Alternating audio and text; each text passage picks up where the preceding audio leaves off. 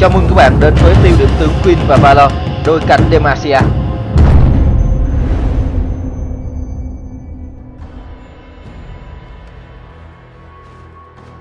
Với độ cơ động và những kỹ năng thú vị, Queen và Valor có thể truy đuổi con mồi hoặc đào thoát khỏi những tình huống khó khăn.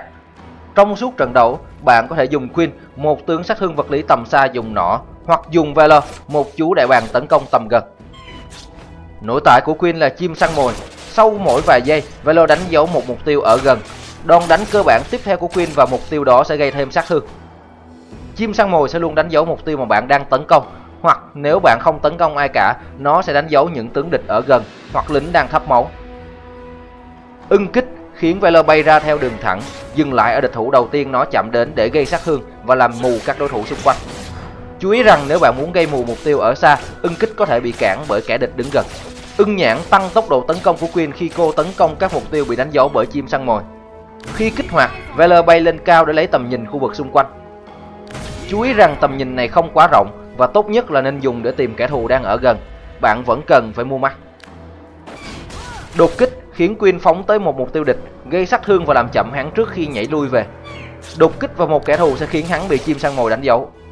Nếu dùng đột kích ở tầm gần, Queen sẽ nhảy lùi ra xa mục tiêu. Nếu dùng từ xa, cú nhảy của Queen sẽ giúp cô tiếp cận mục tiêu.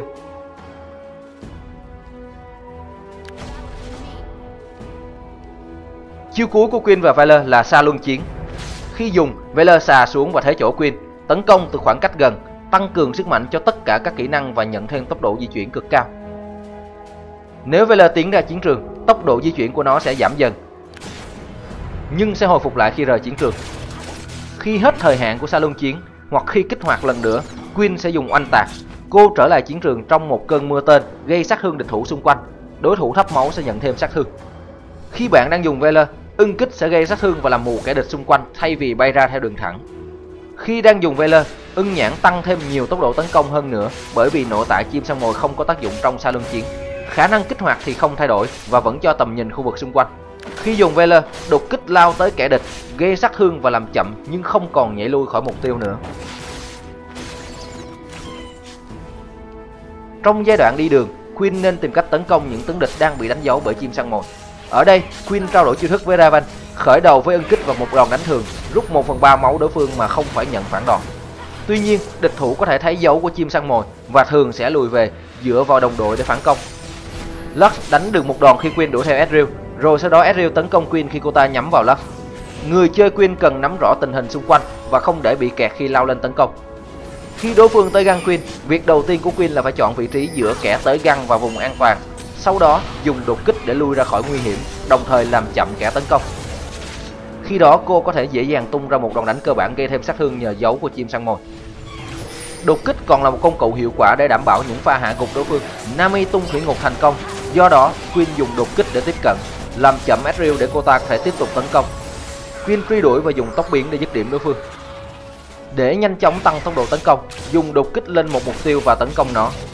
Đột kích sẽ gây hiệu ứng đánh dấu từ chim săn mồi, cho phép Queen tăng tốc độ tấn công nhờ ưng nhãn. Đây là cách tốt nhất để dọn quái rừng hoặc các đợt đỉnh một cách nhanh chóng. Khả năng kết liễu đối phương nhanh chóng thực sự tăng cao ở cấp 6. Sa luân chiến đem lại tốc độ di chuyển cao và đột kích kiềm tỏa lắc. Dù bị dính kiệt sức, Queen tung ra lượng lớn sát thương nhờ dùng anh tạc sớm để dồn sát thương. Giờ đây ở dạng đánh xa, ưng kích và những đòn đánh cơ bản dứt điểm Ezreal mà không phải tiến vào tầm tấn công của trụ. Còn Lux đủ yếu máu để Nami có thể băng trụ lấy mạng. Queen có thể gây ra lượng sát thương lớn và có cả khả năng hỗ trợ những tình huống đồng đội đến gắt. Cô gây sức ép với chim săn mồi và đột kích, buộc Ezreal phải bỏ chạy với dịch chuyển cổ họng và tốc biến. Tuy nhiên, Sa luân chiến cho phép Valor rút ngắn khoảng cách và tiếp tục tấn công, rồi dứt điểm với anh ta. Nếu không có đồng đội nào của Queen ở đủ gần để gây sát thương, Valor có thể làm được điều đó. Vi và Nami muốn băng trụ hạ Ezreal, nhưng Sa luân chiến rồi đột kích giúp tiếp cận rồi giữ hắn lại.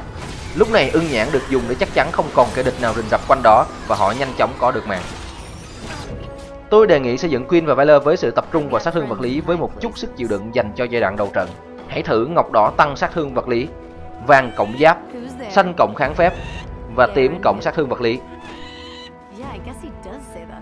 Tôi đề xuất dùng bảng bổ trợ 2190, lấy tất cả các điểm sát thương vật lý ở nhánh công và máu, giáp ở nhánh thủ. Lá chắn, thanh tẩy và tốc biến là những phép bổ trợ tuyệt vời dành cho Queen và Valor, cho phép họ vượt qua những tình huống khó khăn mà vẫn an toàn. Cảm ơn các bạn đã quan tâm theo dõi tiêu điểm tướng Queen và Valor. Hãy cho chúng tôi biết ý kiến của bạn trong phần bình luận.